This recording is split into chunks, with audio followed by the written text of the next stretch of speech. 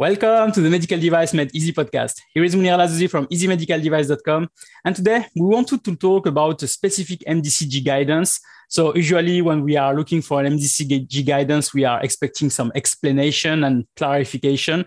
And we find one that raises more questions than answers. And I have with me Erik Vollebregt uh, from Axon Lawyers, who will help us to understand more about uh, this guidance and he especially uh, wrote a blog post, and it's why it's it's really an interesting discussion that we'll have today. He wrote a blog, po- blog post about that and with all the issues that he has identified there. So, Erik, welcome to the Medical Device Made Easy podcast. Thanks, uh.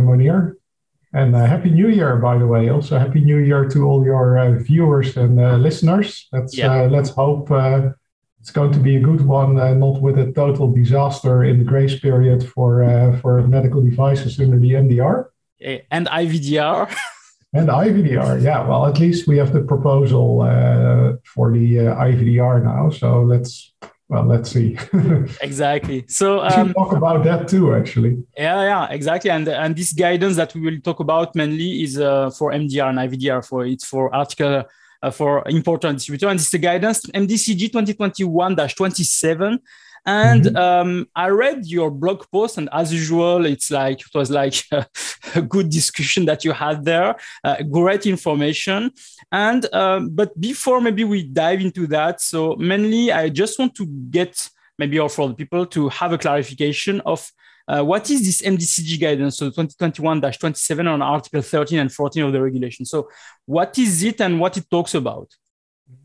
Well, it's I think. Uh it's something that would be very useful uh, normally because it answers questions about uh, uh, about when an entity or a person is an importer or a distributor under the MDR, and I think it's a very good thing that the MDCG wants to provide more guidance on this. Because I can say from my own legal practice that uh, whenever I'm dealing with independent distributors of medical devices, for example, I see a huge lack of knowledge about their obligations under the MDR. Basically, they've been doing sort of the la la la la la MDR doesn't exist. Okay. Or they go like a MDR question mark. So I think there's a lot, yeah, there's a big knowledge gap that uh, that I think needed to be filled. Uh, and what is obvious is that the MDR has collected a number of uh, questions that it that has been uh, that it has been seeing in the market. Uh, probably questions that were posed to the competent authorities, questions that came in through stakeholders like uh, MedTech Europe and other stakeholders. So I think they, yeah. If you see me glance sideways, by the way, I've got the uh, I've got the uh, guidance on my other screen, so it's okay not that I'm uh, watching uh, watching uh, YouTube at the same time, but um, yeah. So they they they they took a couple of uh, uh, quite a lot of questions actually that I think um, well were answered. Um, some of them I think were yeah to me quite evident that they turned out. Uh, they were also easy to answer. I think that's sometimes also a bit of an MDCG thing that they also choose to answer easy questions because it makes it easy for them because then they can just repeat the law back at you which i think is not always the best way to provide guidance but okay. And then in this case what also happened was when i read this guidance because i do a lot of work in economic operators i was like huh? This is weird so I had, I had, yeah, I had two points basically. That's also what I wrote a blog about, in which I produced this uh, this this long rant about uh, that I didn't like the uh, this guidance document very much because it was so confusing. So yeah, so we uh, had we had the so the two points are mainly, and we'll discuss really many on those two points. Uh, we mm-hmm. had the notion of the of placing on the market. Uh, we discussed yeah. that already on some other episodes, but I think it's a good reminder also of, uh, of that. And apparently it raises more question with this MDCG guidance. And we had the other question or other point, which is the importer relabeling, because mainly uh, there is also some question about if there is already uh, on, on, the label uh, the importer name an importer name when you are the importer normally of this device. So what should you do in this case? Um, so uh, these mainly are the two points that we'll discuss. Uh, just one thing. So um, when we discuss about that, there is, and people that will be reading this, uh, your blog post, will see also a lot of time the mention of the blue guide. And this yeah. is something that is really important. And I think it can be also the occasion today to just explain again what is the Blue Guide, uh, mm-hmm. because this is something that is really mm, important and clarifies a lot of things. And yeah, this is also something that you are mentioning a lot that read the Blue Guide. If you don't know, look at the Blue Guide. I mean, I saw this sentence many times on your blog post. So I think it's an important thing. So let's maybe clarify what lawyers and regulatory people, if you only read the Blue Guide, that's also a good argument yeah, the blue guide is basically, um, I would say, it's the it's the most comprehensive and authoritative piece of horizontal guidance that you can get for at the moment for the new legislative framework, as it's called. The new legislative framework is uh, uh, is basically, if well, roughly roughly translated in the uh, in the EU we uh, regulate goods by means of CE marking regulation. Basically, you could say actually there's different regulatory approaches eh? because if we look at medicines, for example, medicines are also products. Medicines are not regulated under the new legislative framework because medicines are regulated by under an individual specific uh, licensing scheme under, uh, under Directive 2000183. But for uh, the so-called industrial products, the EU has taken uh, uh, uh, a choice to say we are going to use a uniform regulatory philosophy for that based on CE marking. And you can say that the collection of all these uh, uh, regulations and directives together, that presents the new legislative framework. It's not actually completely new in the sense that we had the um, uh, we already had CE marking legislation before, which was first called the new approach. The new approach was actually a tool to make sure that the EU could produce enough standardized product regulation to complete the internal market before the 1992 deadline. That's basically why this was invented. Then in 2008, we have Regulation uh, 765 2008, in which um, these, this regulatory template for CE marking was revised, and actually in which the uh, uh, already the whole supply chain controls with economic operators, as we have seen in the MDR and the IVDR since 2017, were already established back then. So this is always interesting when people say, "Oh, yes, economic operators." Totally new. No, it's totally old. It, it, it, literally existed for, for a decade already when it finally came to the uh, to the MDR and the IVDR. Now, why is it called a new legislative framework? Because they added economic operators, they added more things in market surveillance. And that was basically this way we had state of the art CE legislation template. Now, this whole template of CE legislation, this is comprehensively discussed in the Blue Guide. So the Blue Guide discusses, uh, of course, I always have a Blue Guide ready, yep. also on my uh, second screen here.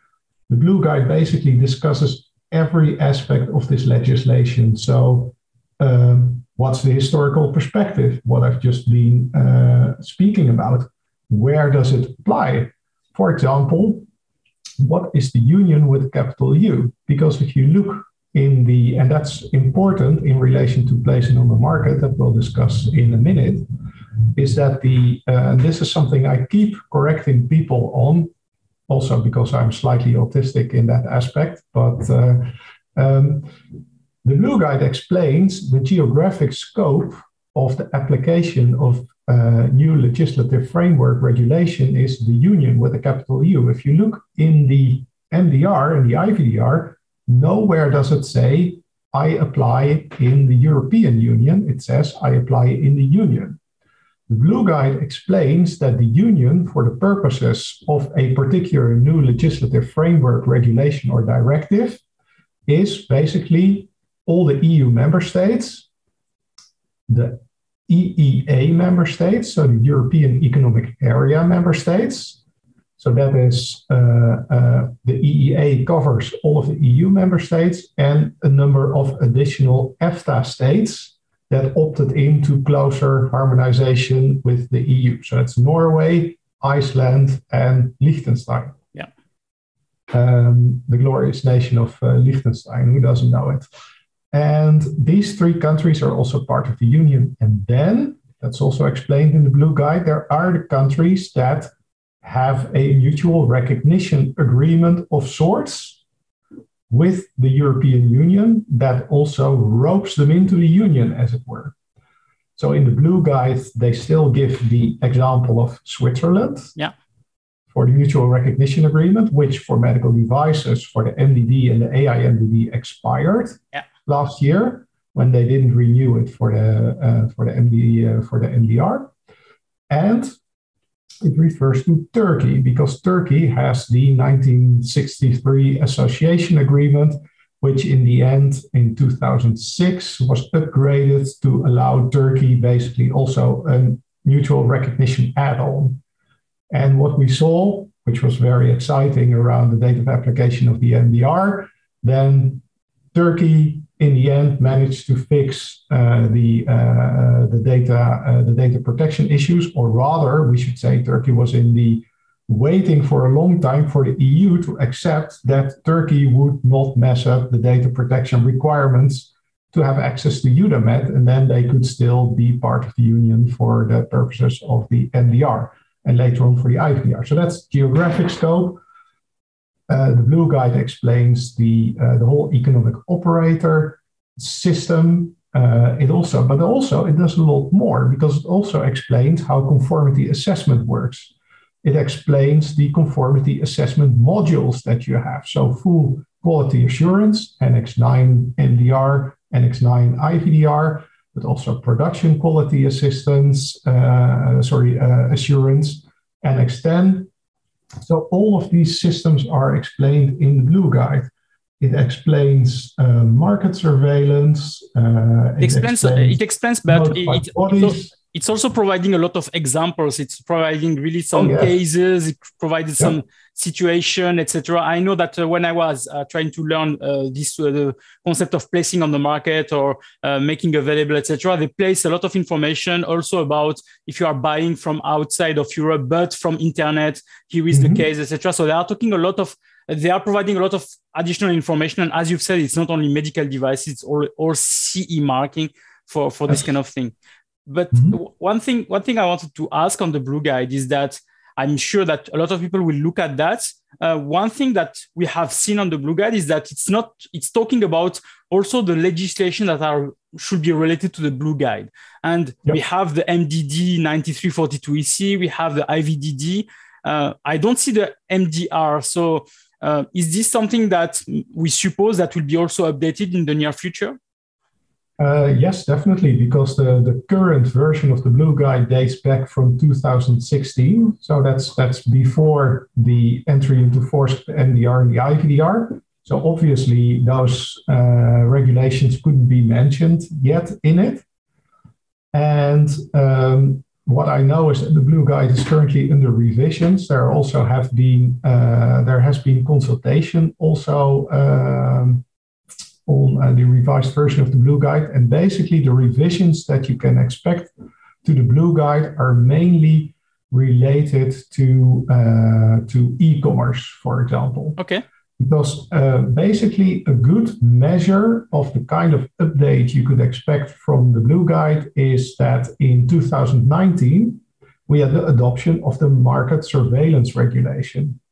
And the market surveillance regulation, that's regulation 1020 uh, 2019, became applicable uh, 16 July last year.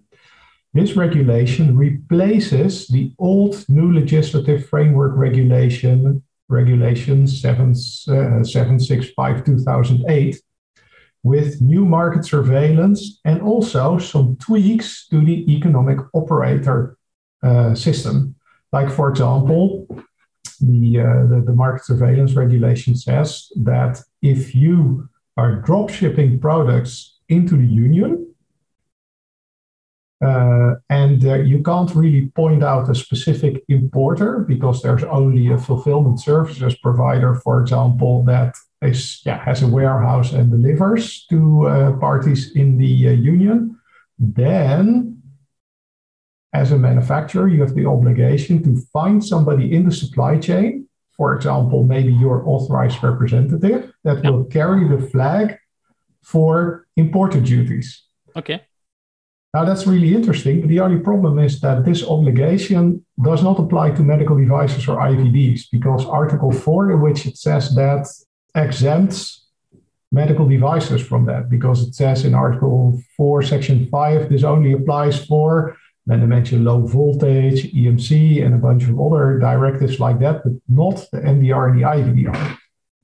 So this is this is this is this is interesting, but this is this is the kind of stuff you could expect amended in the blue guide. So okay. a clarification of uh, 3PLs, for example, what role they play. That's touched upon very briefly in the current blue guide, but that will be updated uh, later. Okay. Um, I would have so- hoped that they already uh, would have established a new version, but I'm hoping for it uh, this year. Okay.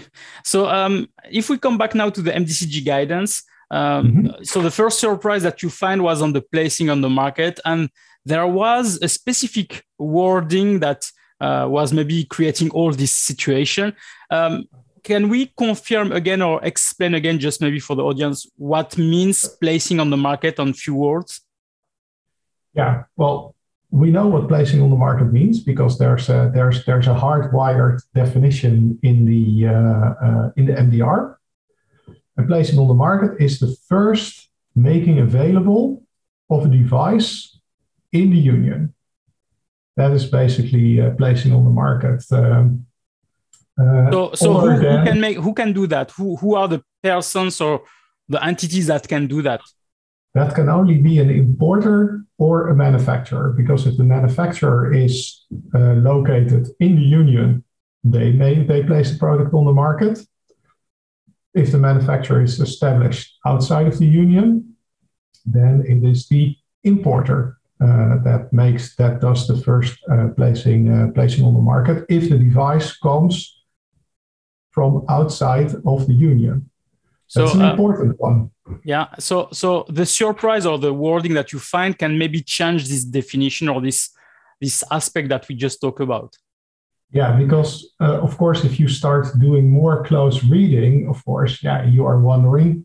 Uh, and you see in the MDR, basically, there's a layered definition of what placing on the market is. Because in Article 228, it says placing on the market is the first making available of a device other than a than an investigational device on the union market. So then you don't know very much except that's first making available. Yeah. So then you have to wonder what is making available.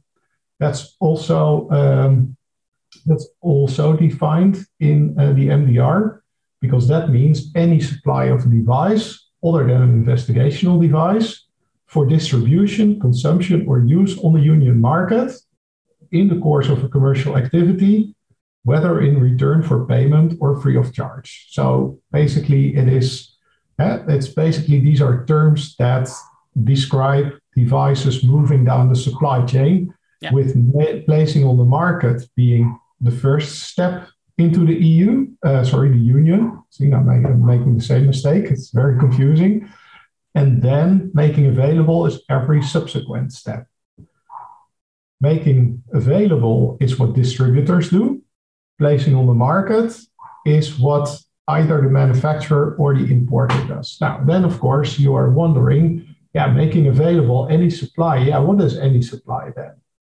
And this is described in quite a lot of detail in the Blue Guide because it has a section on what is placing on the market and a section on what is making available.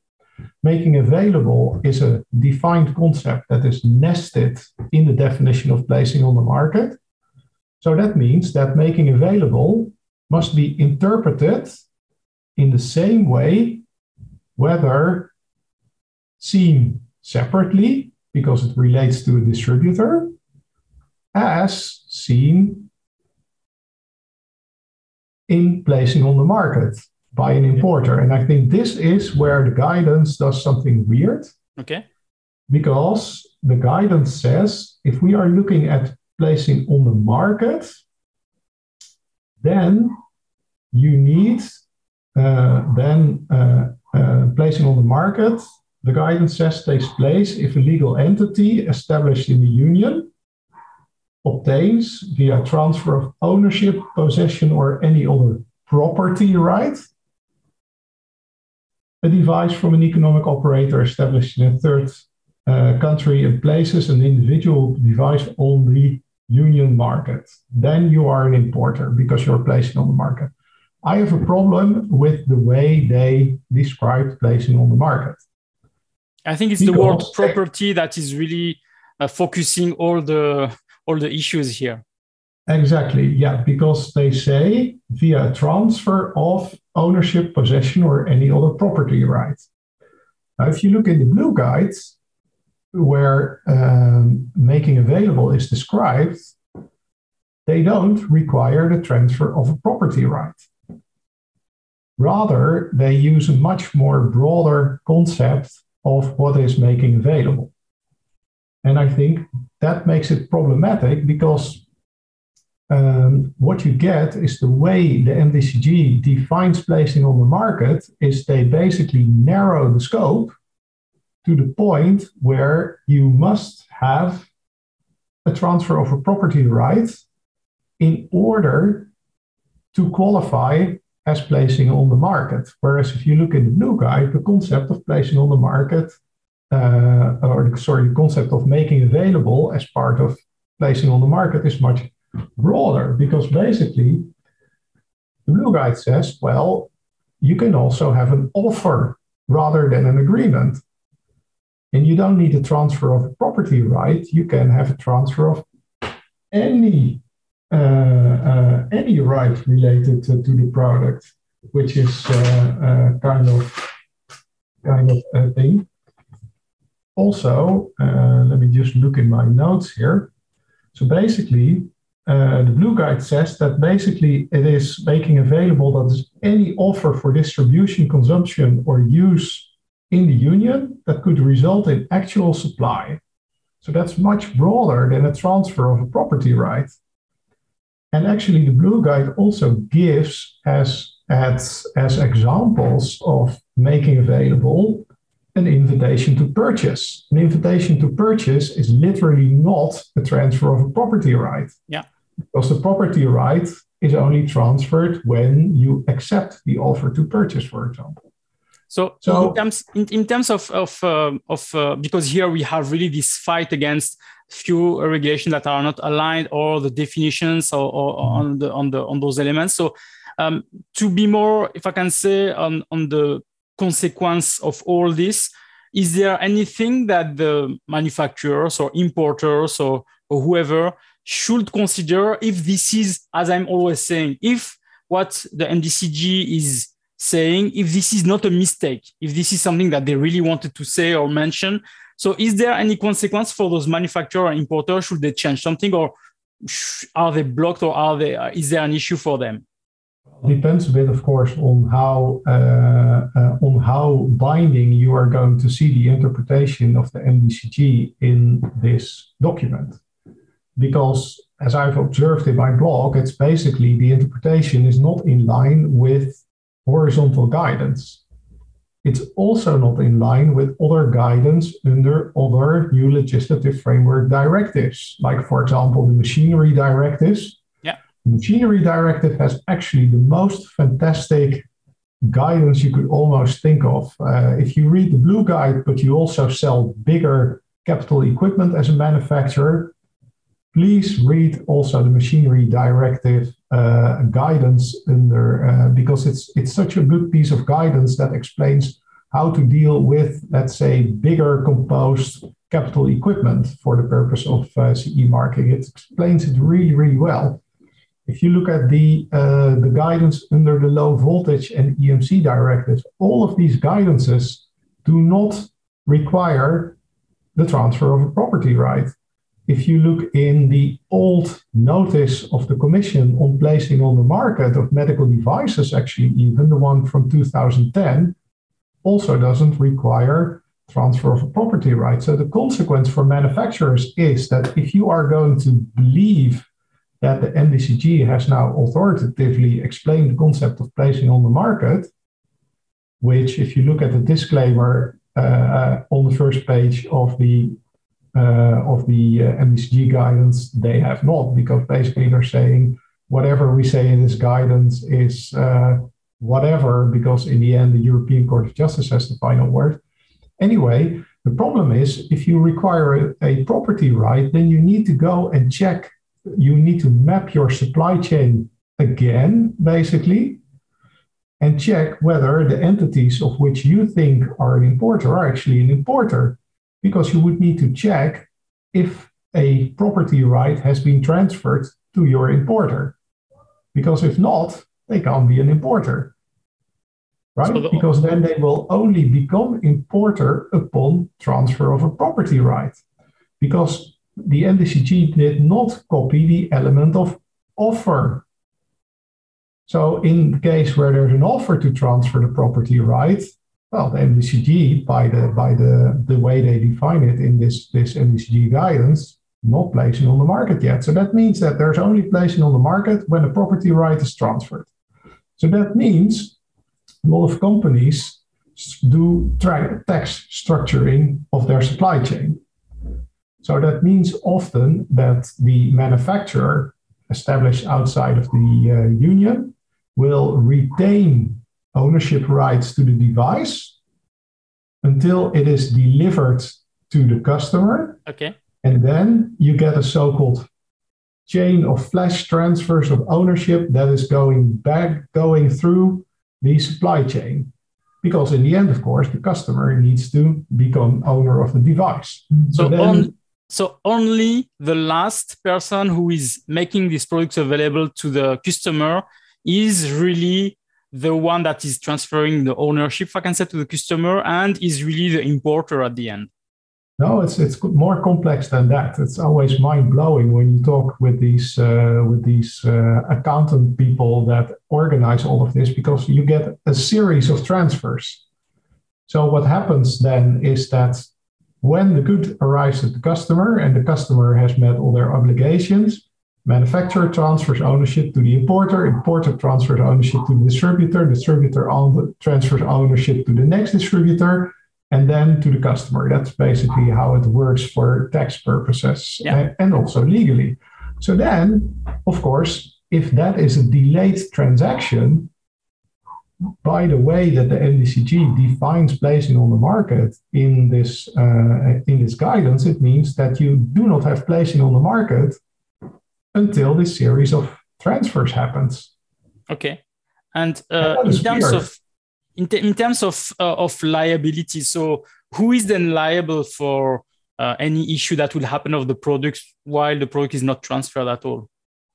Well, you get, of course, you get the problem then that time-wise qualification is not synced anymore with the place of the product in the supply chain because this is how I think on a proper construction of, uh, of economic operator uh, concepts, at the moment that uh, the device is made, made available in the union, so the importer makes an offer uh, to a party in the, U- in the union, for example, even uh, the Blue Guide even mentions advertising. So the importer starts advertising Hello, I have medical devices sitting in my warehouse that everybody in the union can buy. Who wants to buy them?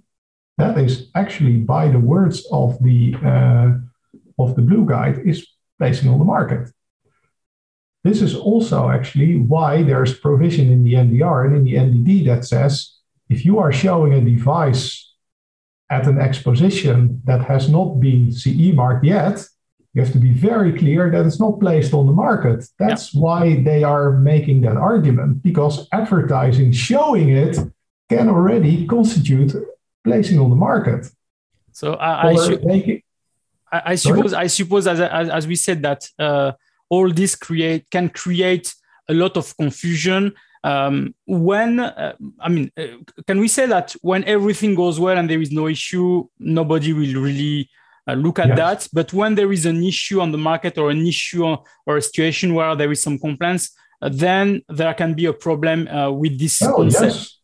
And with deadlines, of course, eh, because that is because in the MDR and later on in the IVDR, we are in a complete minefield of deadlines. And what is the reality ah, yeah. of these deadlines?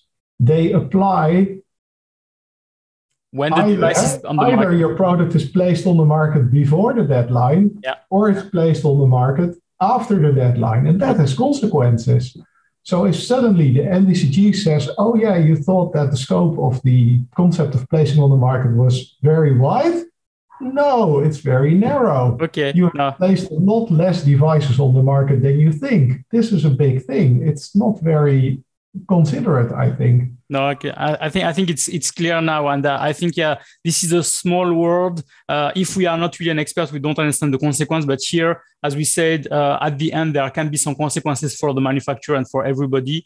Uh, do you think there will be some? If maybe they are listening to this episode, the MDCG, do you think there will be um, some changes or updates on all this, or?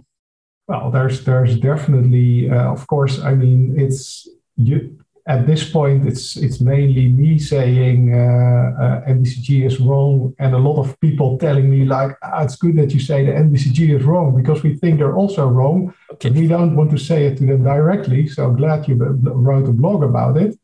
But yeah, of course, what the MDCG can do is they can just issue a new version of the uh, of of the guidance in which they correct this, bring it in line with horizontal guidance because hey, it says on the cover of the MDCG guidance that they can write whatever they want because it's not binding anyway. So exactly. why not make a new guidance? So um, that would be a good thing to do, I think, if they really want to clarify this rather so, than create more confusion.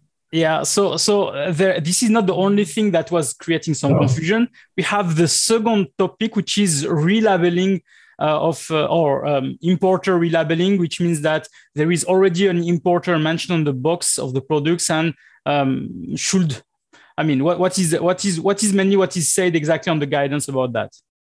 Yeah, so there's uh, there's there's uh, question seven that um, talks about uh, a scenario that's also discussed in the Blue Guide. Actually, what happens if a device is placed on the market, then exported, and then imported into the Union again. What does the second importation mean?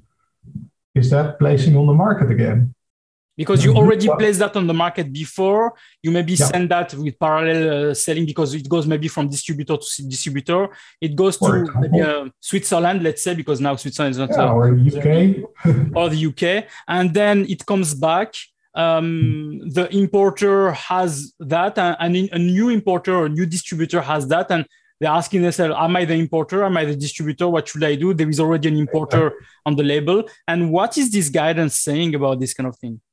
Well, the guidance is, I think, creates a new interesting obligation that is not in Article 13 uh, or 14 of the MDR, because basically the, the, the, the, the answer to the question aims to help the re-importing entity decide whether it's an importer or a distributor. But it's doing it in a bit of a weird way that creates an additional obligation because the guidance says, well, what the importer should do, or the supposed importer, they should verify if the device has been previously placed on the union market. Okay. So, how are you going to verify that? You go to maybe I mean, the manufacturer to ask, or yeah, but do you know who the manufacturer is? I mean, it's, apart it's from apart from the one that is mentioned on the box, uh, I don't know. No. Yeah. Well, okay. So then you go to the end. Of, so you have to ask the manufacturer.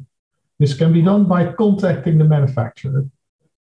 So what's going to happen? Often manufacturers don't even know if the device was placed on the market in the first place right? So yeah. because and this is also only in the in the scenario where there is already importer labeling on the device in accordance with Article 13, Section 3. Yeah.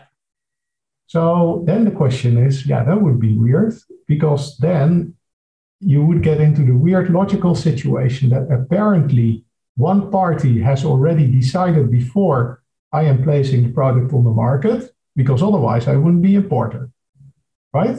Yeah. Otherwise, I would not put my details on it, and I wouldn't play, put myself in uh, maybe in EUDAMED voluntarily as I am the importer of this device. How would the manufacturer know? What would the manufacturer know additionally to you being able to see on the label and maybe in EUDAMED if they put in things voluntarily? I mean, you would be asking the manufacturer for things that you already know. The only thing additionally that the manufacturer could tell you maybe is I sold this to these guys in the union and I think they placed it on the market, but I don't know. Because, and that is, I think, this is where again the blue guide comes in. The blue guide mentions a lot of scenarios in which you actually don't have placing on the market. For example, because the importer decided, oh, I'm not going to sell this in the, in the union in the first place.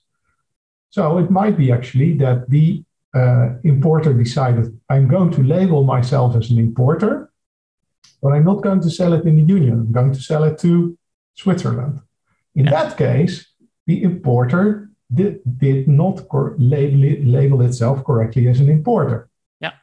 But how would the manufacturer know what happened in the mind of the importer on that point. So it's, exactly. it's kind of a really weird self defeating uh, problem because then the guidance says, well, if the importer has investigated the issue, then either they replace their details with those of the previous importer. So basically, they need to look via the manufacturer, need to look into the head of the other importer. It would have been so much more logical if they would have said, contact the other importer because those details are on the label as well. That's basically, that's that's that's what this question actually proceeds from. So I don't understand the thinking uh, behind this.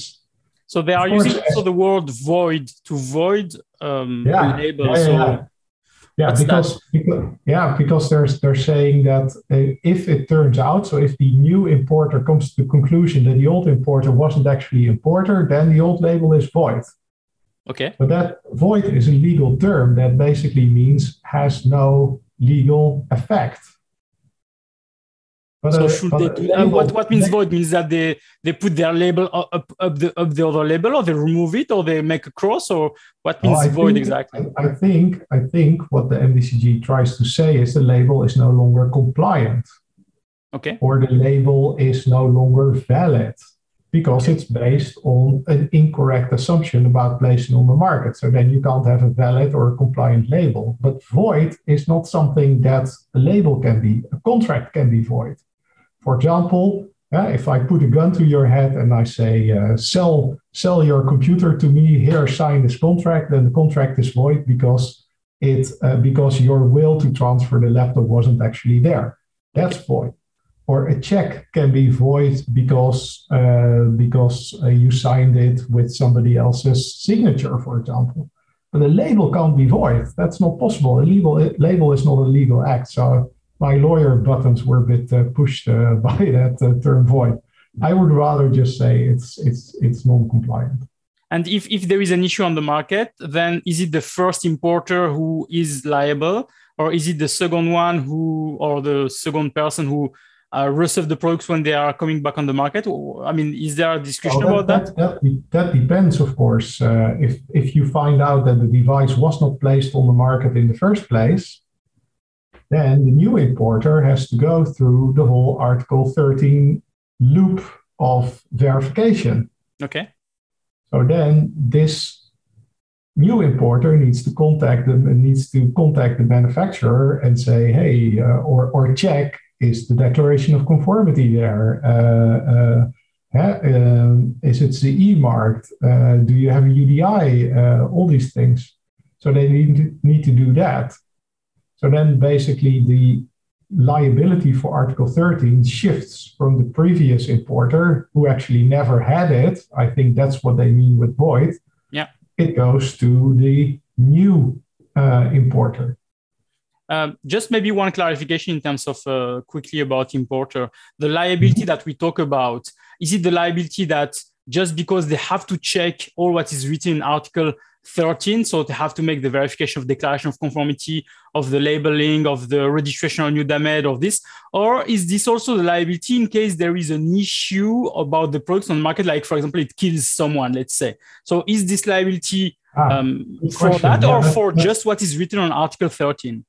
It's a different liability uh, because this is the liability just for observing the requirements in Article 13. Product liability, as you mentioned, that remains uh, regulated under the EU Product Liability Directive.